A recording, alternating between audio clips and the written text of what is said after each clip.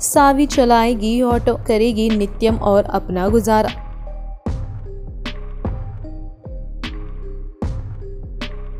बात हो रही है कलर्स चैनल पर आ रहे सीरियल सावी की सवारी की, जिसके आने वाले एपिसोड में आप देखने वाले हैं बड़ा ट्विस्ट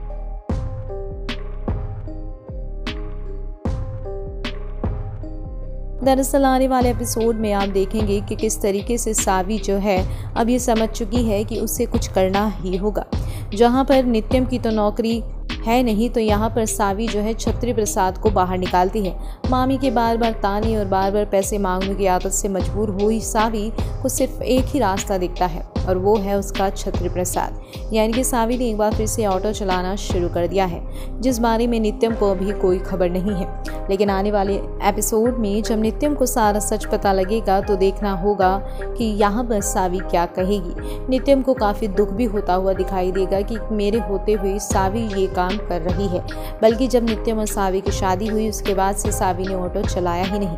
आने वाला एपिसोड काफ़ी ज़्यादा इंटरेस्टिंग होने वाला है, जहाँ पर सावी अपने घर खर्च के लिए नित्यम की मदद के लिए ये सब कर रही है। नित्यम से झूठ बोल रही है, वहाँ पर नित्यम को भी दुख पहुँचने वाला है।